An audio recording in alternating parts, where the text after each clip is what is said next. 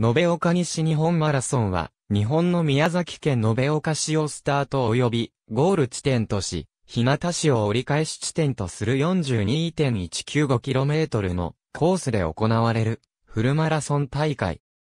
福岡国際マラソン選手権大会、別府大分毎日マラソンに次ぐ、日本陸上競技連盟公認の九州3マラソン大会の一つ。ローカルマラソンの扱いであるが、豊富読売マラソンとともに、新人の登竜門的大会となっている。1963年に第1回が開催された。参加は陸連登録者に限られており、いわゆる市民マラソンではない。2015年に初めて女子の部が開催された。2021年は中止。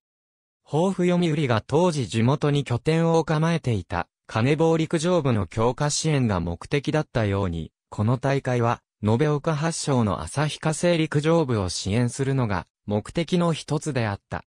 事実、世界に飛び出した旭化成のランナーたちのほとんどが、この延岡でマラソンデビューしている。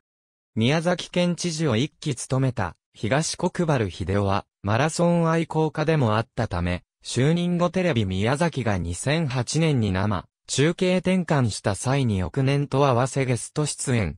退任前年の2010年には、県職員と共に参加し、3時間23分45秒で完走した。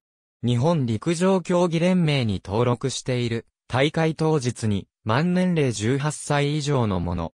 延岡市役所前をスタートし、国道10号線を南下、日向市原町を折り返し、再び北上、延岡市役所がゴールとなる。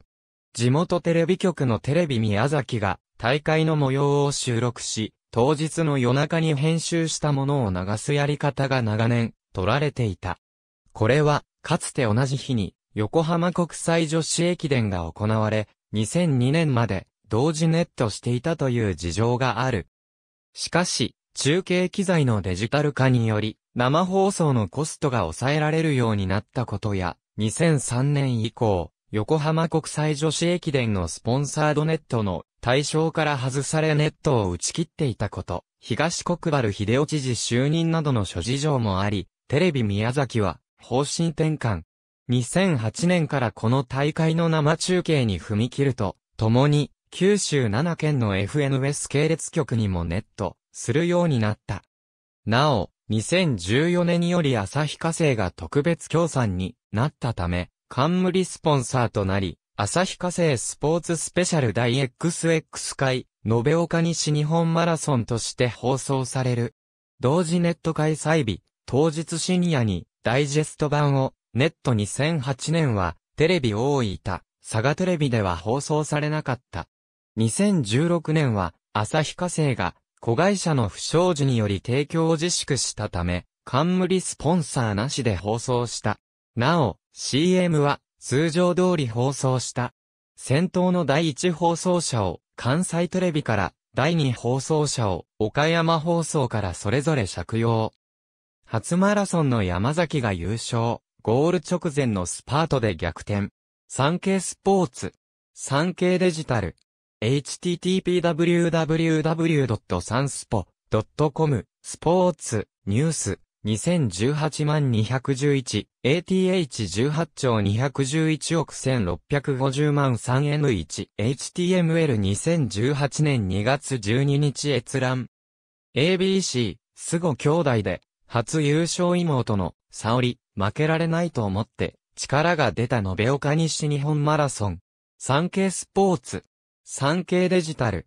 https www.sanspo.com スポーツ、ニュース、2019万210、ATH19 兆210億1725万 7N1、HTML2019 年2月11日、閲覧。松尾、計算通り自己新で3年ぶり、V ノベ岡西日本マラソン。産経スポーツ。産経デジタル。Https www.sanspo.com アーティクル2020万209から2 i 774ダブクブルクスコット 5ZV にアージゴリー2020年2月10日閲覧トワードの2020年2月6日のツイート、2020年2月12日、閲覧。ありがとうございます。